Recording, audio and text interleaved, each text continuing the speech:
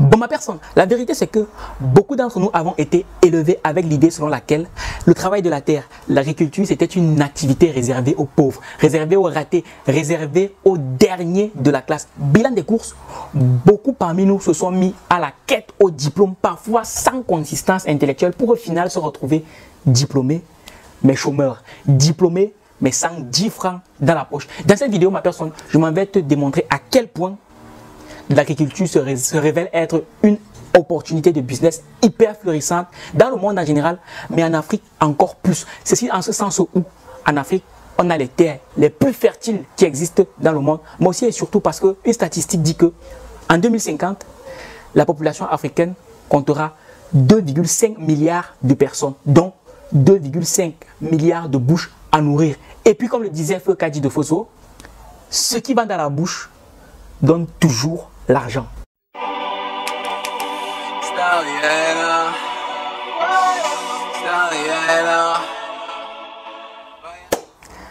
Bonjour ma personne personnelle, j'espère que tu vas bien j'espère que comme moi tu as soif de réussite. Et bien si c'est le cas, on est ensemble. tu l'auras bien compris, dans la vidéo d'aujourd'hui, je vais partager avec toi un résumé du livre de Loïc Amoua qui s'intitule 10 clés pour réussir dans l'agro-business en Afrique. Mais avant de continuer ma personne, j'ai trois annonces à te faire. Premièrement, c'est de t'abonner si ce n'est pas encore fait. Deuxièmement, c'est de cliquer sur la cloche de notification, c'est afin d'être informé pour toutes les prochaines vidéos que je partagerai avec toi qui vont t'enrichir encore et encore. Et soit dit en passant, la prochaine vidéo que je partagerai avec toi, ça sera un résumé du livre de Rolly Kentash qui s'intitule Aime l'argent et tu seras fort. Ma personne, le livre ici, c'est la magie. Donc reste connecté pour ne pas louper ces résumés parce que tu vas apprendre énormément de choses sur l'argent. Troisième annonce, c'est que ma personne, cette vidéo est sponsorisée par Colwaz. Alors, c'est quoi Colwaz Colwaz, c'est la première application mobile africaine d'échange de livres entre particuliers ou entre particuliers et professionnels. En gros, si tu as un livre chez toi qui chôme et tu aimerais te faire un peu d'argent, tu peux télécharger l'application et poster ce livre-là sur l'application pour le revendre. Ou alors, si tu cherches un livre, il te suffit juste d'aller dans l'application et de rechercher le livre. Et tu as le numéro et ça fonctionne avec WhatsApp. C'est bête comme dit bonjour. Ça fonctionne super bien. C'est hyper simple d'utilisation. Je l'ai testé. Franchement, c'est top. De ma personne, pour te procurer l'application, c'est gratuit. Tu vas en description. Le lien qui te permet de télécharger l'application est en description. You know. Maintenant que tout ceci est dit, je te propose qu'on passe tout de suite dans le vif du sujet. Mot en ce qui concerne le livre de Loïc Kamoa. Ce livre, en fait, c'est un guide pour toute personne qui souhaite se lancer dans l'agriculture en Afrique, mais aussi pour toute personne qui souhaite entreprendre en Afrique. Parce que là-dedans, Loïc Kamoa n'aborde pas que des thèmes techniques en ce qui concerne l'agriculture, mais il aborde aussi des thèmes qui concernent l'entrepreneuriat en général, notamment le fameux thème du financement. Là-dedans, tu apprendras vraiment beaucoup de choses. Honnêtement, pour ne rien te cacher, ça fait plus de 4 mois que j'ai ce livre dans ma valise. J'ai hésité pendant longtemps à le lire parce que je me disais, franchement, l'agriculture, qu'est-ce que je vais foutre avec l'agriculture? Mais honnêtement, après avoir lu ce livre, je ne regrette pas. Ça m'a juste confirmé le fait que je ne sais pas ce que je ne sais pas. Donc, il faut continuer à se cultiver. Parce que ce n'est pas ce que tu sais qui te tue, mais c'est ce que tu ne sais pas qui te tue. Dans ce livre, j'ai découvert énormément d'opportunités en ce qui concerne l'agriculture en Afrique. De ma personne, reste accroché. Petit mot en ce qui concerne Loïc Kamoa. Loïc Kamoa, c'est un agripreneur camerounais qui a quitté les États-Unis d'Amérique pour revenir s'installer au Cameroun pour faire de l'agriculture, mais aussi et surtout de l'élevage de poulets de chair. Son rêve, le rêve de Loïc Kamoa, c'est de devenir le leader en termes de culture céréalière en Afrique et pourquoi pas dans le monde d'ici 2050. Parce que comme il aime si bien le dire, nous vivons dans un monde binaire. Où tu es premier, tu es dernier. Car dans ce monde, on ne se souvient que des premiers. Dans ma personne, Loïc explique clairement dans son livre que le déclic pour se lancer en entrepreneuriat lui est venu à la suite d'un cours sur le leadership qui leur avait été dispensé par le professeur Paul Foucault Kamouni, qui est en fait le fondateur de la célèbre banque qui s'appelle Afriland First Bank, qui est l'une des plus grandes banques africaines. À la suite de ce cours, Loïc a tellement été captivé par ce que disait Paul Foucault Kamouni. C'est à tel point qu'il a décidé d'en faire l'un de ses mentors. Donc, dans la foulée, il a décidé de lire tous les livres qui avaient été écrits par ce monsieur. C'est afin de comprendre quel a été le processus. C'est afin de comprendre comment est-ce que ce monsieur a pu bâtir un tel empire. Donc, lire tous ces livres lui ont permis de construire son mindset Petite parenthèse, ma personne. Parce que vous êtes de plus en plus nombreux à m'écrire sur WhatsApp pour me poser la question de savoir, Valère, j'ai un projet, j'ai envie de me lancer en entrepreneuriat, mais je ne sais pas comment m'y prendre. Ma personne, le moteur de l'entrepreneuriat, c'est le mindset. Le moteur de l'entrepreneuriat, c'est le développement personnel. Dans ma personne, tu as envie de lancer un projet, moi j'ai un conseil à te donner. Éduque-toi d'abord. Construis ton mindset. Parce que c'est ça, c'est ça le moteur. Si tu veux plus, tu n'as qu'à devenir plus. Car il y a une très grande relation entre ce que tu as et ce que tu es. Parce que comme le dit Jim Rohn, le succès, ce n'est pas quelque chose qu'on poursuit, mais c'est quelque chose qu'on attire en devenant une meilleure personne. Dans ma personne, éduque-toi. Donc, chemin faisant, Loïc, il a lancé sa première marque de vêtements. Parce qu'il en avait marre de voir que ce sont toujours les mêmes marques qui sont mises en avant. Donc, ce qu'il voulait faire, c'était devenir le Dolce Gabbana de l'Afrique. Donc, il a continué à faire son petit business comme ça. Et puis, à un moment donné, il s'est rendu compte que le téléphone avait le vent en poupe en Afrique. Sauf qu'il y avait un problème. Les batteries de ces téléphones-là ne duraient pas longtemps. Et comme il avait un mindset orienté opportunité, parce qu'il savait déjà que derrière chaque problème se cache en fait une opportunité de business, et eh bien qu'est-ce qu'il a fait? Il s'est lancé dans le business d'achat-revente de batteries de téléphones. Mais comme tout business dont les barrières à l'entrée sont assez faciles à franchir, eh bien, le marché a très vite été saturé, donc il a dû laisser tomber ce business-là. Mais le business était tellement florissant à un moment donné, il a même voulu laisser tomber ses études. Mais son père a su trouver les mots pour lui dire non mon fils, continue quand même jusqu'à obtenir ton bachelor, après tu pourras faire ce que tu veux. En parallèle de ses études, Loïc Kamwa a continué à lire pour s'éduquer et au cours de ses lectures, il s'est rendu compte à quel point l'agriculture représentait une excellente opportunité de business en Afrique. Et c'est donc comme ça qu'il a lancé son premier projet agricole. Un an plus tard, il a dû aller aux États-Unis pour achever son bachelor. Mais une fois aux États-Unis, Loïc va faire deux constats. Premier constat, c'est que les expatriés qui viennent investir en Afrique ne viennent pas pour développer l'Afrique. Non, ils viennent juste parce qu'ils suivent l'argent. Ils viennent juste pour faire leur business. La preuve, aucun d'entre eux n'ouvre de compte dans un compte bancaire national. Non. Comme ça, ils peuvent expatrier leur argent au détriment de la loi, sans payer de taxes, sans payer d'impôts. C'est aussi simple que ça. Deuxième constat que fait Loïc, eh ben, il se rend compte que le nombre d'agriculteurs en Afrique ne fait que décroître alors que la population ne fait que augmenter. La preuve, une statistique de l'Organisation mondiale du travail dit que en 91 au Burkina Faso par exemple, on avait plus de 81% d'agriculteurs. Mais en 2018, il n'en restait plus que 28%. Et les projections sur 2050 disent que en Afrique, il y aura à peine 20% d'agriculteurs, sachant que la moyenne d'âge c'est 60 ans. Est-ce que tu la vois l'opportunité? 20% d'agriculteurs, 2,5 milliards de personnes. Donc en fait, tu auras 20% d'agriculteurs qui vont gérer un peu plus de 80% de l'agriculture en Afrique. Donc, tu te rends très vite compte que si tu te positionnes dans ce secteur-là dès maintenant, eh bien en 2050, il y a de fortes chances que tu te fasses beaucoup d'argent. Ne faites pas de l'agriculture à temps partiel. Loïc, dans cette partie, insiste sur le fait que beaucoup de gens veulent se lancer dans l'agriculture. Mais comme leur peur de perdre est supérieure à leur envie de gagner, eh bien, ils ne se lancent jamais. Par ailleurs, il y a des gens qui veulent bien se lancer dans l'agriculture, mais ne le font pas à fond, ils le font à temps partiel. Là, il s'adresse surtout aux gens de la diaspora, parce que très souvent, nous, les gens de la diaspora, quand on veut se lancer dans l'agriculture en Afrique, on se dit, bon, je vais venir faire un mois, je lance un peu, et si ça marche, je vais venir faire deux mois, ainsi de suite. Loïc te déconseille vivement de procéder de cette manière-là. Il dit que si tu veux te lancer dans l'agriculture, lance-toi à fond. Parce que dis-toi que c'est dans le démarrage que ton business a le plus besoin de ta présence. C'est dans ton démarrage que ton business est le plus fragile. Et c'est là que tu faut que tu sois présent. Par ailleurs, a des gens qui très souvent, quand ils veulent lancer leur business en Afrique, eh ben, ce qu'ils veulent faire, c'est en fait faire de l'agriculture à partir de leur téléphone sur WhatsApp. Donc en fait, ils délèguent quelqu'un pour cultiver les champs et que cette personne lui envoie des images.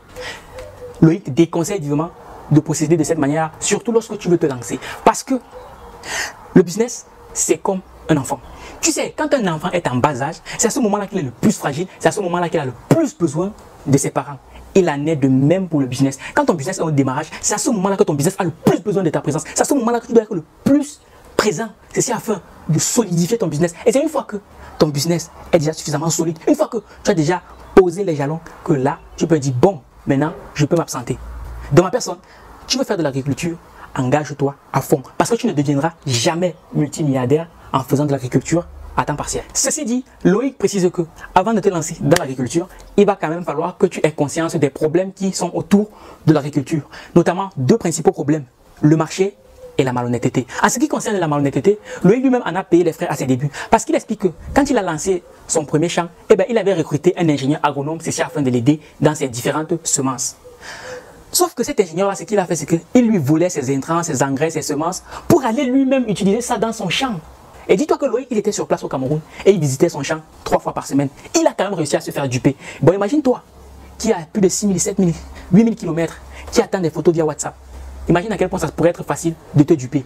Deuxième problème, le marché. Loïc explique que le marché au Cameroun, compte tenu du fait qu'il n'y a pas vraiment un système qui permet de standardiser les prix, il n'y a pas vraiment un système qui permet de contrôler les prix, eh bien, le marché fluctue du jour au lendemain, ça fluctue très vite. D'ailleurs, une petite anecdote qui lui est arrivée, c'est que à la veille, un jour, il allé au marché et il a vu le cajot de qui coûtait un peu plus de 11 000 francs CFA. Sauf que le lendemain matin, quand il arrive sur le marché, on lui dit que le cajot de tomates coûte 1500 francs CFA. Pourquoi? Parce qu'il y avait beaucoup de tomates sur le marché. Donc le prix a chuté. Tu imagines la chute? Imagine-toi, qui a fini, tu as, réussi, tu as réussi à braver les récoltes et tout. Maintenant, il faut réussir à vendre ton produit. Toi, tu es de l'autre côté là-bas. Et toi, on te dit ça comme ça, que le cajot de tomates qui coûtait 11 000, aujourd'hui, ça coûte 1500. Et toi qui n'as jamais été sur place, comment tu vas prendre la chose? Ma personne, ce principe est valable dans l'agriculture et dans n'importe quel domaine dans l'entrepreneuriat. Parce que dis-toi que ma personne, la réussite ne se vend pas en solde. Donc pour réussir, il va falloir que tu payes le prix fort. Il va falloir que tu mouilles le maillot. Et puis, Loïc te conseille vivement, lorsque tu vas vouloir te lancer dans un domaine, va avec l'optique d'être le leader, va avec l'optique de dominer ton marché. Parce que nous vivons dans un monde binaire où soit tu es un, soit tu es zéro. Soit tu es premier, soit tu es dernier. La preuve, si aujourd'hui on venait te poser la question de savoir qui est l'homme le plus riche d'Afrique, tu vas tout de suite me répondre Aliko Dangote. Mais non, si on te pose la question de savoir qui est le deuxième homme le plus riche d'Afrique, alors qui c'est? Tu vois, tu as du mal à te rappeler. Eh bien parce que l'histoire ne retient que les leaders. Deuxième clé, ne jamais confier son champ à un membre de sa famille ou à un ami. Tu sais, chez nous en Afrique, il est commun de vouloir monter un projet avec un membre de sa famille. En soi, ce n'est pas quelque chose de mauvais. Mais quand on prend en compte notre contexte chez nous en Afrique, on sait tous très bien que très souvent, lorsqu'on remet un projet entre les mains d'un membre de la famille, eh bien, on se fait voler. Parce que mon frère ou ma soeur sait que peu importe ce qu'il va faire, je ne pourrais pas lui porter plainte, je ne pourrais pas l'amener en prison. Colonel Nobis l'explique d'ailleurs très bien dans l'une de ses formations qui, qui s'appelle Comment investir en Afrique, que je t'invite vivement à regarder si jamais tu souhaites lancer entrepreneur en Afrique parce que tu vas apprendre beaucoup de choses. Il explique que il a un ami qui avait gagné un marché public et pour pouvoir assumer ce marché-là, il avait besoin de 5 millions. Donc il est allé à la banque et il a fait un crédit de 5 millions. Ensuite, il a fait venir son frère afin qu'il puisse gérer ce marché-là ensemble pour que l'argent reste en famille, you know. Sauf que son frère a volé cet argent et il s'est barré. L'ami de Claudel a voulu porter plainte à son frère, sauf que la famille a fait une réunion de famille et ils ont dit à son frère que, mais attends, donc tu veux mettre ton frère en prison pour des biens terrestres? Voilà donc comment l'ami de Claudel a perdu le marché, mais aussi et surtout, il s'est retrouvé avec une dette de 5 millions de francs sur la tête. De ma personne, vouloir introduire un membre de sa famille dans son business, c'est bien, mais il faut le faire de manière stratégique. Ceci dit, Louis dit qu'il faudra que tu te poses trois questions avant de vouloir intégrer un membre de ta famille dans ton business. Première question, mon frère ou ma soeur est-il qualifié pour pouvoir exercer cette tâche? Deuxième question, est-ce que je suis en train de le recruter pour les bonnes raisons? Et troisième question, est-ce que je pourrais le virer si jamais il se comporte mal? Voilà trois questions qu'il est important que tu te poses si jamais tu souhaites introduire un membre de ta famille dans ton business. Par ailleurs, ma personne, si jamais tu veux mettre en place un business avec ta famille, moi je t'invite vivement à ne pas les introduire au début. Parce que, comme on le dit chez nous, c'est mieux qu'un enfant tombe malade après la naissance plutôt qu'il tombe malade pendant la naissance. Je ne sais pas si tu vois un peu ce que je veux dire. Parce que quand une maladie est congénitale, en général, elle est beaucoup plus sévère et beaucoup plus compliquée à résoudre par rapport à quand l'enfant est déjà un peu actif, quand il, il a déjà 2-3 ans. C'est pareil dans ton business. Quand ton business est encore tout neuf, tout fragile, gère ton truc en solo. Mets tes garde-fous. Et une fois que tu sens que ton business est déjà suffisamment solide, là tu peux introduire un membre de ta famille et tu que même s'il fait une gaffe, tu peux toujours rattraper le coup. Je ne sais pas si tu vois un peu ce que je veux dire. Par ailleurs, Loïc renchère en disant ceci.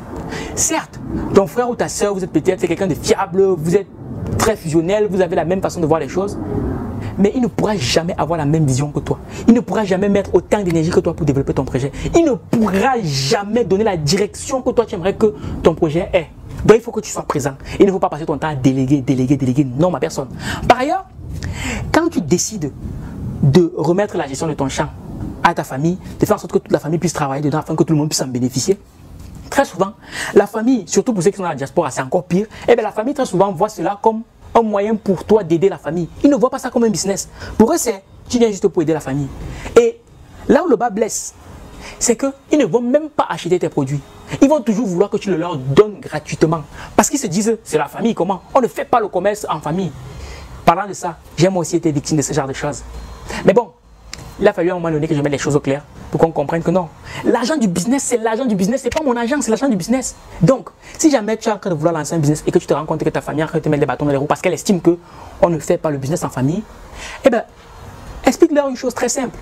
C'est que soit ils décident de bouffer tout ton argent maintenant et après, vous tous, vous crevez de faim, ou alors ils te laissent faire grandir ton business et quand ton business sera suffisamment juteux, eh bien, vous pourrez en profiter tous ensemble.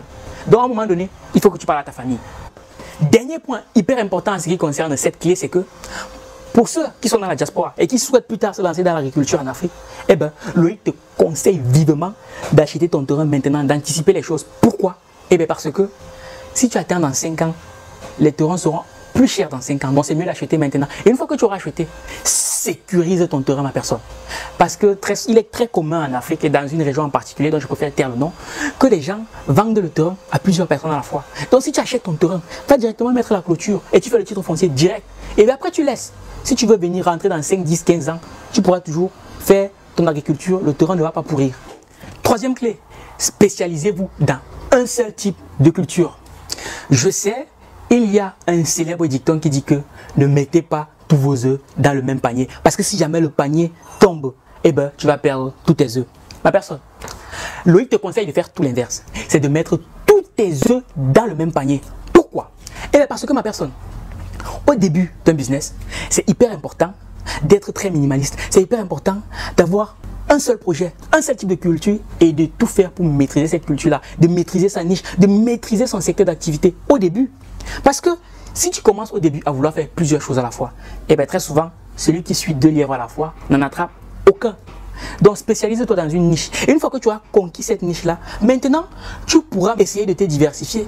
Mais tu ne vas pas te diversifier de n'importe quelle manière.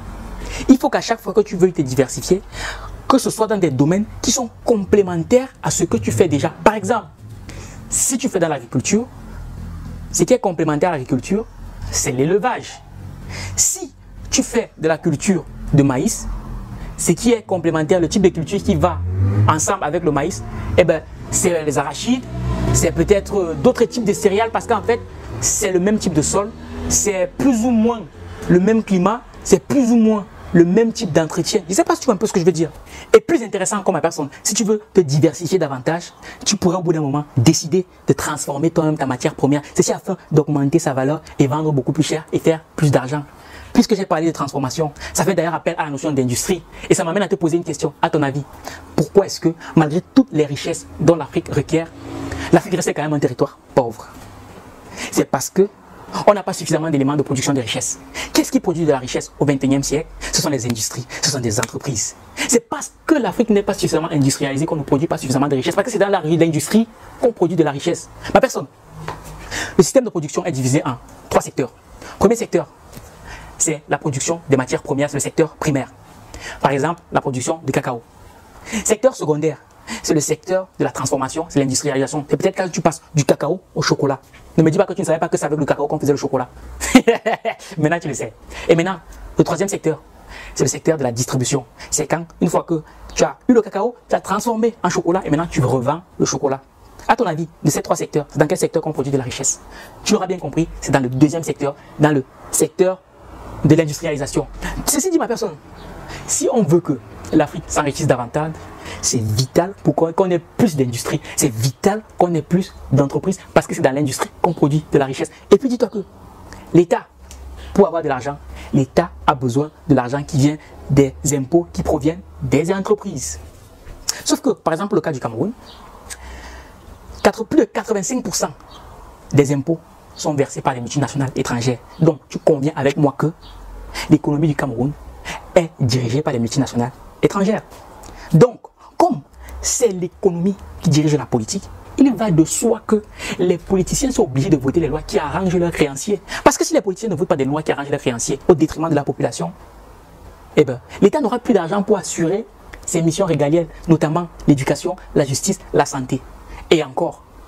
Donc on aura beau jacasser sur les réseaux sociaux partout, on aura beau avoir des profils anonymes, des profils masqués pour insulter le gouvernement de Paul Biya. Tant que cette statistique-là ne change pas, on aura toujours les mêmes problèmes. Dans ma personne, chacun doit retrousser ses manches pour faire en sorte qu'on puisse sortir de ce bourbier-là dans lequel certaines personnes nous ont mises. Quatrième clé, ne lancez jamais votre projet en comptant sur les subventions du gouvernement. Dans cette partie, Loïc fait un peu un coup de gueule. Parce que il met le doigt sur le fait que chez nous, au Cameroun et en Afrique en général, nous mangeons de la nourriture importée, dans des plats importés, avec des cuillères importées, et parfois même, nos cerveaux sont importés. Et Claudel va plus loin, parce qu'il précise que même le cul dent au Cameroun est importé. Donc tant que ces statistiques-là ne changent pas, on aura beau jacasser comme on veut, l'Afrique sera toujours pauvre. Par ailleurs, il insiste sur le fait que très souvent, les projets agricoles qui sont pilotés par les gens de l'État sont de vrais flops. Pourquoi Eh bien parce que très souvent, ces projets sont pilotés par des bureaucrates qui ne comprennent rien aux réalités de l'agriculture sur le terrain. Ce sont des gens qui sont juste dans les bureaux sous la clim et ils font, ils griffonnent des papiers. Bilan des courses, les projets n'aboutissent jamais. Donc si jamais un jour tu veux mettre en place un projet agricole en Afrique ou peu importe le projet et qu'on te recommande certains experts, cherche une chose. Cherche d'abord quel est le champ que lui a réussi à faire et ça a marché. Oui, c'est la preuve par l'objet. Si tu cherches un expert en agricole, en agriculture, demande-lui de te montrer son champ. Si tu cherches un expert, je ne sais pas moi, en bâtiment, demande-lui de te montrer les maisons qu'il a déjà construites. C'est comme ça que ça marche, ma personne, la preuve par l'objet. C'est comme ça que ça marche. Par ailleurs, Loïc insiste sur trois choses. Premièrement, en comptant sur les subventions de l'État, eh bien, très souvent, les procédures administratives sont très, très, très, très, très longues. Qu'il faut attendre en moyenne trois ans pour pouvoir bénéficier de la subvention si jamais il y en a une. Et parfois, même quand il y en a une, ce sont des subventions piégées. Loïc explique que lui, par exemple, il en a fait les frais parce qu'il avait fait une demande de subvention pour un champ et tout.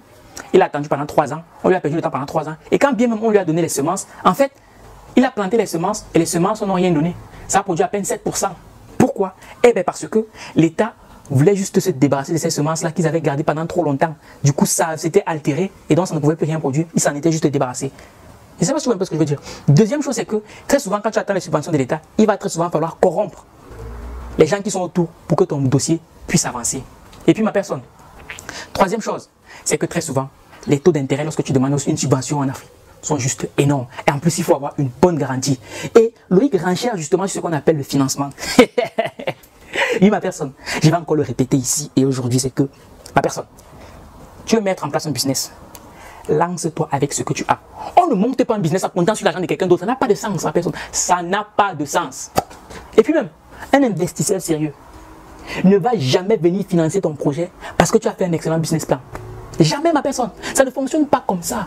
Non. Parce que dis-toi que l'investisseur, quand il met son argent, c'est pour gagner. Il faut au moins qu'il ait une garantie que derrière, quand il investit son argent, il va gagner de l'argent. Et attention, parce que très souvent, quand les gens disent j'ai un bon business plan, maintenant il me manque le financement, ce qu'ils oublient, c'est que l'argent que le financeur remet entre tes mains, c'est un prêt que tu dois rembourser plus tard avec des intérêts. Je ne sais pas si tu vois un peu ce que je veux dire. Et permets-moi d'ajouter une couche pour que tu comprennes à quel point il faut que tu, tu, tu commences seul. C'est que ma personne, dis-moi un peu, tu n'as jamais monté un business avec lequel tu as pu gagner 100 francs. Mais tu veux gérer un projet qui demande 3 millions, 10 millions, 20 millions. Tu n'as aucune compétence en marketing, tu n'as aucune compétence en communication, tu n'as aucune compétence en gestion des ressources humaines, aucune compétence en comptabilité. Et tu veux gérer un budget de 10 millions. Il n'y a rien qui te dérange dans ça, ma personne. De toi à moi, il n'y a rien qui te dérange. Donc commence avec ce que tu as. Commence petit mais vois grand, ma personne. Quand tu vas à la banque, que tu veux une subvention, très souvent la banque te demandera que bon, montre-nous les chiffres. Qu'est-ce que tu as déjà pu faire? Donc si tu as pu faire quelque chose avec 100 000 francs, ils se disent que si tu me donnes un million, tu pourras en faire plus. C'est de ça qu'il s'agit. Donc, faites tes preuves, ma personne, c'est de ça qu'il s'agit. Et arrête d'attendre les subventions, arrête de perdre ton temps sur les business plans parce que c'est une perte de temps. Quand tu démarres un business, la chose dont tu as le plus besoin, ce n'est pas d'un business plan, c'est d'un plan d'action. Il faut faire la nuance entre les deux. Cinquième clé, les gains dans l'agriculture se font à long terme. Dans cette partie, Loïc raconte l'histoire suivante. Il dit qu'il y a quelques années en arrière, lorsqu'il se lançait dans le business, eh ben, il y a une organisation qui est arrivée au Cameroun et qui a décidé de créer un concours. En fait, dans ce concours-là, l'organisation promettait aux différents investisseurs qu'ils devaient avoir un retour sur investissement de plus de 60% après 6 mois de travail. Bien des courses qui étaient attirés par la part du gain facile, eh bien, ils se sont fait duper. Donc Loïc t'invite à être très vigilant face à ce genre de choses. Parce que dis-toi que ma personne, un gain pareil en agriculture c'est pratiquement impossible. Encore moins quand tu viens de te lancer dans le business. Oui, ma personne.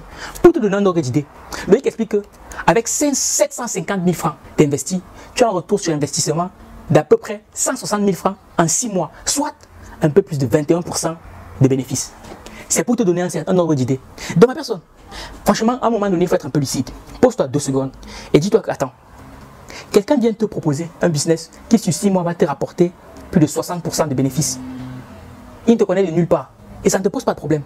Donc lui, tu penses vraiment que s'il y avait ce genre d'opportunité, c'est toi qui devais venir proposer ça De toi à moi, dis-moi.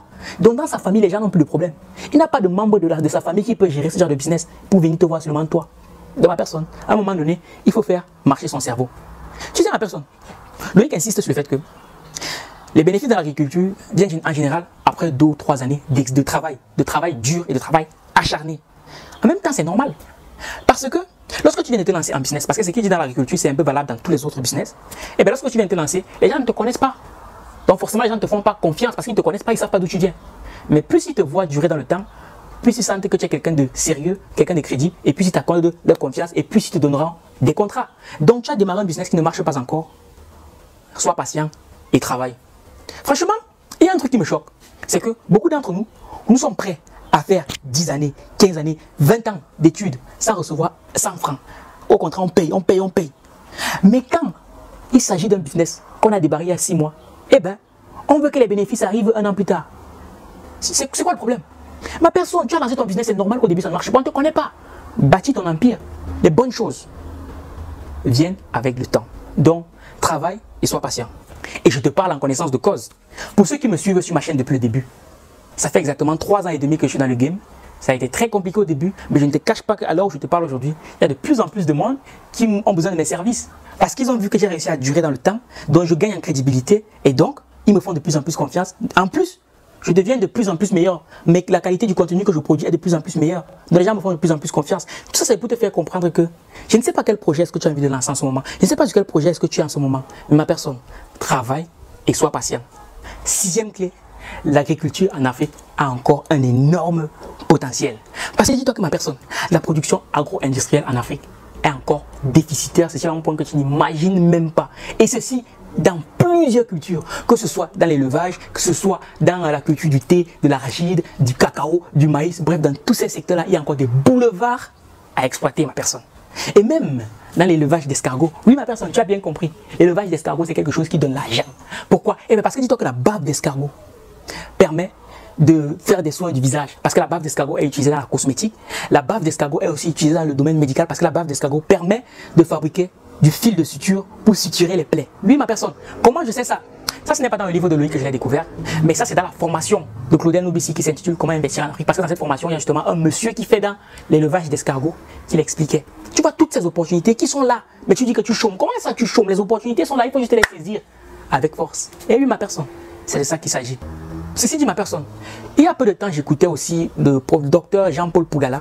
Il expliquait notamment que, après ses recherches, il s'est rendu compte que il n'y a aucune culture qui se fait en Europe qui ne peut pas être faite en Afrique. Que contrairement à ce que certaines personnes ont fait croire qu'il y a certaines plantes qui ne peuvent pas pousser en Afrique, eh bien c'est possible de les faire pousser en Afrique quand on sait comment s'y prendre. Oui, oui, oui, ma personne. Et si tu as quelques doutes, il suffit de regarder ce que ce monsieur fait au Burkina Faso, celui qui a fait revenir la forêt. C'est là que je te rends compte que dès lors que tu sais comment t'y prendre, eh bien, tu peux accomplir des merveilles. Donc, Pougala continue en disant que les gens qui nous ont fait croire qu'il y a certaines plantes qui ne pouvaient pas pousser en Afrique, notamment la pomme de France, hein, eh bien, ces gens-là l'ont fait à dessein. Parce que si nous, dans notre tête, on se dit que tel fruit ou telle plante ne peut pas pousser en Afrique, eh bien, qu'est-ce qu'on fait? On se retrouve toujours en train d'importer et donc d'enrichir l'extérieur. Donc, franchement, Jean-Paul Bougala, c'est quelqu'un de très pertinent. Si tu veux te lancer dans l'agriculture, je t'invite vivement à aller écouter ce monsieur. Tu apprendras énormément de choses. Pour revenir à Loïc, Loïc explique notamment que, à un moment donné, il a voulu être le fournisseur en maïs de l'un des plus grands consommateurs de maïs au Cameroun. Parce qu'il s'était rendu compte que cette société-là importait toujours le maïs venant de l'Europe. Mais il s'est dit, mais moi je fais dans le maïs, comment Il faut que je, je les fournisse? Donc il allait les voir et il leur a fait cette proposition. Écoute bien ce que le monsieur leur a dit. Le monsieur lui a dit que pour faire tourner nos machines à plein régime, chaque année, on a besoin de minimum 21 000 tonnes de maïs. Alors que Loïc ne pouvait en produire que 280 tonnes par an. Est-ce que tu vois l'opportunité? Ce n'est pas tout. Loïc donne encore un exemple en ce qui concerne le Nigeria. Il dit tantôt qu'il y avait une entreprise au Nigeria qui faisait dans la production de purée de tomates. Sauf que trois ans après avoir ouvert, l'entreprise a dû fermer. Pourquoi? À cause du manque de matières premières. Est-ce que tu vois l'opportunité? Septième clé, commencer petit, mais revenir grand. Loïc insiste sur le fait que l'agriculture, développer l'agriculture, c'est capital si on veut faire développer l'Afrique. C'est en ce sens où un peuple qui a faim n'a pas de dignité. Car, comme on dit chez nous, c'est le ventre qui porte la tête. Ventre affamé là n'a point d'oreille. Donc il faut déjà qu'on arrive à manger. Je ne sais pas si tu vois un peu ce que je veux dire. Par ailleurs, il dit que l'agriculture permet d'assurer le travail à plus de 60% de la population africaine. Et on sait tous chez nous que une personne qui travaille fait vivre au moins 4 à 5 personnes. Donc, c'est aussi un secteur à développer comme il se doit. Aussi, contrairement à ce que beaucoup de gens pourraient penser, pour se lancer en agriculture, on n'a pas besoin de beaucoup d'argent. On n'a pas besoin de bureaux, on n'a pas besoin de secrétaires, on n'a pas besoin de drones. Mais le problème, c'est que très souvent, lorsque les jeunes veulent se lancer, ils veulent jouer les patrons, ils veulent les drones, ils veulent une secrétaire, ils veulent, je ne sais pas trop quoi, ils veulent le grand bureau, jouer les DG, arriver au char avec les mains dans les poches et les WhatsApp sur les... Non, ma personne, tu n'as pas besoin de tout ça pour commencer en agriculture. La seule chose dont tu as besoin, c'est de tes mains, un cerveau qui fonctionne bien et des pieds qui fonctionnent bien pour te lancer, ma personne. Oui, ma personne, c'est de ça qu'il s'agit. Mais comme beaucoup parmi nous se sont mis à la quête des diplômes sans consistance intellectuelle, eh bien, qu'est-ce qui se passe? Comme ils ont fait beaucoup d'années d'études, et dans leurs études, on leur a toujours dit il faut le business plan. Sauf que quand ils font le business plan avant de se lancer, très souvent, ils se rendent compte qu'il leur faut 10 millions pour commencer. Et du coup, ils sont broke, ils sont frustrés, ils cherchent le financement pour se lancer. Non, ma personne. Commence petit, mais vois grand. Huitième clé, les bénéfices se font à l'achat. Oui, ma personne. Contrairement à ce que tu peux penser, les bénéfices se font à l'achat et non à la vente. Pourquoi Eh bien parce que dis-toi, si tu réussis à réduire le coût d'achat de ta matière première, si tu réussis à réduire le coût de production, eh bien, non seulement tu fais une marge beaucoup plus grande, mais aussi tu peux décider de réduire ton prix de vente, donc de faire des marges plus petites, mais de vendre plus de stock. Parce que le prix auquel tu vends défie toute concurrence. Je ne sais pas si tu vois un peu ce que je veux dire. Donc, Loïc te donne quelques astuces qui te permettent justement de réduire au maximum l'achat de tes produits ou ton coût de production. Première astuce, avoir une relation de fidélité avec tes fournisseurs. Parce que si tu vas toujours chez les mêmes fournisseurs, au bout d'un moment, vous développez une certaine relation qui va au-delà du business. Et donc là, ils commencent à te donner les meilleures opportunités de business. Ils commencent à te donner les meilleurs produits au meilleur coût possible parce qu'ils veulent que vous gardiez cette proximité-là. Deuxième astuce, maîtrise ta comptabilité. Lui, ma personne, c'est important que tu maîtrises ta comptabilité. Il faut que tu saches où va ton argent. Il faut que tu saches ce qui rentre et ce qui sort. Et l'une des astuces de Loïc, c'est de toujours marcher avec son carnet et son stylo. Pour chaque dépense qu'il fait, il note. Pour chaque argent qui rentre, il note. Comme ça, au moins, il a une trace et il sait où va son argent et il sait comment capitaliser pour faire plus d'argent. Troisième astuce, ma personne. Il faut que toi-même, tu ailles acheter tes propres produits, du moins au début. Parce qu'il faut que tu maîtrises le marché. Il faut que tu saches combien coûte quoi. Oui, parce que si tu ne sais pas et que tu délègues à quelqu'un une tâche que toi tu ne comprends pas, tu vas te faire voler. C'est aussi simple que ça. Donc il faut que tu maîtrises ton marché. Au début, ne reste pas les mains dans les poches. Au début, ne reste pas là avec ton téléphone WhatsApp pour dire va me faire ça, va me faire ça. Non, toi-même, va sur le terrain, va vendre pour que tu saches comment ça se passe dans le marché. Neuvième clé, maîtriser son marché. Tu sais ma personne, c'est vrai, on est au 21e siècle, on est un siècle où c'est l'ère du numérique, où tout se passe sur Internet, tout le monde doit être sur Internet, tout le monde veut être sur Internet. C'est vrai. Mais quand on va sur Internet, il faut y aller de manière stratégique. Oui, ma personne, il faut savoir est-ce que ta cible est sur Internet? Parce que la vérité, c'est que si tu es agriculteur en Afrique en général, eh ben, les, premières, personnes qui vont acheter ta marchandise, ce sont les bails en salam. En fait, les bails en salam sont juste les femmes qui vendent au marché. C'est elles qui sont les premières clientes qui vont acheter ta marchandise. Bon, maintenant, est-ce que tu penses que les bails en salam sont sur Internet? À chercher sur Internet où est celui qui vend le meilleur produit au meilleur coût. Non, ma personne. En général, au Cameroun, Loïc parle du Cameroun parce que c'est celui qui maîtrise bien. Eh bien, les Bayam Salam ont un téléphone qui leur permet juste d'appeler, de recevoir. C'est tout. Elles ne sont pas tout le temps sur Internet pour chercher des trucs. Donc, elles sont sur le terrain. Donc, si tu veux te lancer dans l'agriculture en Afrique, ne va pas avec l'optique de créer un site Internet parce que tu veux. Non. Ça ne sera pas une bonne, une bonne attitude à avoir. Loïc d'ailleurs en a fait les frais parce que quand il est arrivé, il a voulu moderniser le truc, il a voulu aller sur internet et tout ce qui va avec. Il a d'ailleurs payé 650 000 à un ingénieur qui lui a mis sur place un méchant site internet. Sauf que même après 6 mois, il a eu zéro commande. Ça lui a lavé le cerveau. Ensuite, il s'est amusé à faire quelque chose de tout bête. Il a cherché le leader en termes de production de maïs au Cameroun, Maïscam. Et il s'est rendu compte que Maïscam n'avait pas de site internet. Pourquoi? Parce que Maïscam avait compris où se trouve sa cible. Elle avait compris que sa cible ne se trouve pas sur Internet. Donc c'était inutile de monter un site Internet dans ma personne. Oui, c'est vrai, Internet c'est une bonne chose, mais il faut y aller de manière stratégique, ma personne. Aussi. L'un des dangers lorsque tu montes un site internet, lorsque tu te lances en agriculture, c'est que des fois ça peut te donner l'allure que tu n'as pas. Les gens peuvent te retrouver sur internet et avoir l'impression que tu as une grosse structure et, te, et commencer à te demander des commandes vraiment énormes que tu ne peux pas assumer. Et du coup, s'il y a 2, 3, 4 structures qui te, posent un problème de commande et que tu n'arrives pas à assumer, tu perds en crédibilité. Ce qui fait que même dans quelques années, quand tu grossis encore, les gens auront du mal à traiter avec toi. Dixième clé, soutenir l'agriculture en Afrique. Tu sais, le pouvoir se trouve dans notre poche. L'un des meilleurs moyens de soutenir l'agriculture en Afrique, c'est de consommer ce que nous produisons. Faisons cet effort-là. Faisons cet effort de réflexion de se dire, bon, aujourd'hui j'ai 100 francs, j'ai envie de m'acheter une tomate. Est-ce qu'il n'y a pas un membre de la communauté qui produit cette tomate-là? Oui, faisons ce petit effort-là. Parce que je sais quand même que quelque part, quand on va pour acheter un produit, on veut le meilleur compromis pour nous. Donc, faisons quand même ce petit effort de réflexion-là. Parce que malheureusement, pour nous, très souvent en Afrique, c'est quoi? C'est qu'on nous a poussé à penser que c'est ce qui vient de l'extérieur qui est bon, que ce qui est, ce qui est local n'est pas bon. En même temps aussi, c'est vrai que très souvent chez nous en Afrique, on a un gros problème au niveau de la qualité. Et quand bien même des fois la qualité est bonne, le packaging fait en sorte que ça ne donne pas trop envie. La preuve, regarde cette image. Maintenant, regarde cette deuxième image. Quand tu regardes ces deux produits, on voit bien qu'il y a une différence dans ma personne. Tu as un produit que tu veux mettre sur le marché. Oui, c'est vrai, on doit nous soutenir. Mais faisons des trucs de qualité et misons sur le marketing, misons sur le packaging, parce que le packaging, c'est quelque chose de très important dans la communication de ton produit. Parce que tu sais quoi, ma personne? Si tu communiques mal sur ce que tu fais bien, les gens vont penser que tu fais mal dans le marketing, c'est très très très important.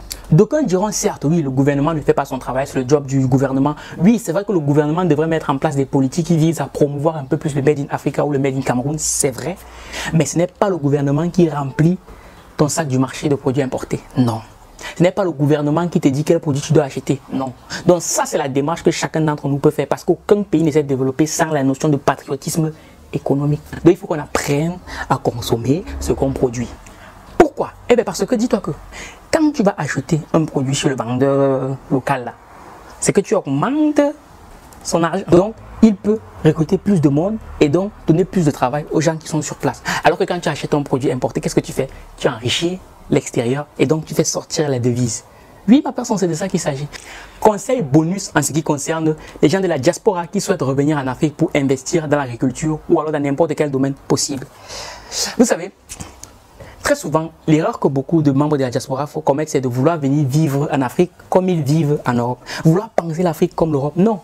L'Afrique, ce n'est pas l'Europe. L'Europe, ce n'est pas l'Afrique. Il faut déjà qu'on se mette ça en tête. Parce que pour beaucoup de gens de la diaspora, avec tout le complexe de supériorité que certains ont, quand ils vont en Afrique, ils veulent vivre en Afrique comme en Europe. Non, ma personne, ce n'est pas possible. Non.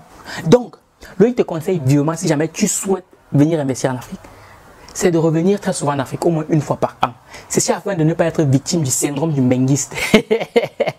Et c'est parce que tu vois ce que je veux dire. Parce que, comme en Europe, en Afrique aussi, les choses évoluent très vite. Donc si tu restes pendant 10 ans ici, quand tu vas retourner, tu seras complètement dépaysé. J'en ai fait les frais après avoir passé 5 ans ici. Quand je suis retourné, j'ai eu un peu de mal. Mais bon, heureusement, je ne suis pas quelqu'un de très difficile, j'ai pu m'acclimater. Donc il faut que tu retournes de temps en temps pour t'acclimater, pour ne pas perdre le rythme des choses là-bas. C'est afin que quand tu vas décider de t'installer pour monter en place ton business, que les mentalités ne te surprennent pas. Bon, ma personne, ainsi s'achève cette vidéo. Et s'il y a bien une chose que j'aimerais que tu retiennes du résumé de ce livre, c'est que l'agriculture a encore de très beaux jours Afrique. C'est une opportunité très très juteuse de se faire de l'argent en Afrique. Et ça le sera encore davantage d'ici 2050 avec plus de 2,5 milliards d'habitants. Mais une question se pose. Où seras-tu à ce moment-là? Oui, ma personne, c'est de ça qu'il s'agit. Donc tu dis que tu cherches des opportunités pour faire du business. En voilà un que je viens de te présenter. Honnêtement, comme je te l'ai dit, moi pour ma part, au départ, l'agriculture c'est un truc qui ne m'intéressait pas. Ma copine m'en parlait, me disait, bon ouais, ouais c'est intéressant. Je ne voyais pas trop l'intérêt dans la chose. Mais après avoir lu ce livre, j'ai réalisé à quel point il y avait de l'argent à s'y faire. Dans ma personne. Ainsi s'achève cette vidéo. J'espère que cette vidéo t'aura été utile. Si c'est le cas, n'oublie pas de cliquer sur tous les boutons et de lâcher un commentaire. Et n'oublie pas d'aller faire un tour en bas de la description parce qu'il y a beaucoup de choses intéressantes. Et prochaine vidéo que je ferai, ce sera le résumé de ce livre. Donc reste connecté. Ceci ma personne. Je te donne rendez-vous à ma prochaine vidéo qui sortira mercredi à 23h. Et je te dis Nakano. Plus à qui, donc tu comptes sur ton sourire. got to like